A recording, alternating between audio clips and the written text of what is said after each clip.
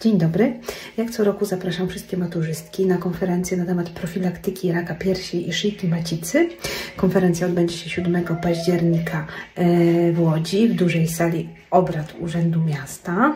Będę tam też ja, także widzimy się. Natomiast oprócz tego 5 października można zrobić sobie profilaktyczne darmowe badania na placu Schillera, e, USG piersi, badanie szyjki macicy, natomiast trzeba się zapisać. E, zapisy już ruszyły.